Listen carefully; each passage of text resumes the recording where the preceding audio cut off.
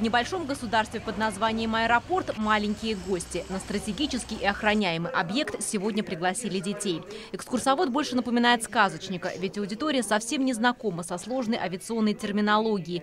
При этом гид должен рассказать все самое интересное о жизни авиагородка. Тушить возгорание на авиационном объекте – сложнейшая задача, объясняют пожарные детям. Важно спасти от огня не только пассажиров, но и сам самолет. Средства защиты больше напоминают костюм космонавта. Интересная работа у тех, кто связан с небом, говорят дети. Мы смотрели, как самолеты взлетают, как они около нас прям были. Я очень хочу полететь на самолете. Узнала про самолеты. Я никогда не летала, мне очень хочется на них полетать, увидеть что-то новое. Работа аэропорта словно математическая наука. Точный расчет, четкие правила и нет права на ошибку. Действия всех работников отработаны до автоматизма. И даже четвероногие сотрудники никогда не подводят коллег. В багажном отделении гостям показывают, как собаки находят запрещенный к провозу груз. Еще одной точкой экскурсии стал ремонтный ангар, где воздушные судна проходят техническое обслуживание. Только здесь становится понятно, что самолет – это сложнейший механизм, который точно так же, как любое сложное техническое средство, нуждается в ремонте.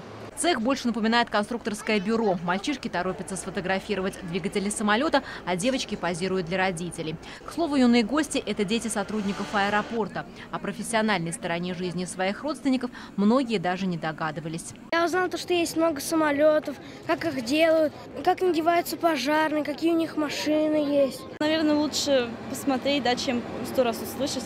И поэтому хочется как бы продолжить ну, род и хочется отдать всю свою жизнь самолетам. Аэропорт Уфа прирастает новыми традициями. Вот уже пятый раз здесь проводят экскурсии для детей. Заглянуть в закулисье аэродромной жизни мечтает все больше юных уфимцев. Мы надеемся, что вот эти авиационные династии, аэропортские династии, которые здесь есть, они продолжатся, потому что дети, которые приходят сюда посмотреть, где работают их родители, они, как правило, все-таки все возвращаются работать в аэропорт. Под занавес экскурсий для детей организовали десерт. Конфеты «Взлет» помогают перенести дискомфорт во время перелета объясняют специалисты.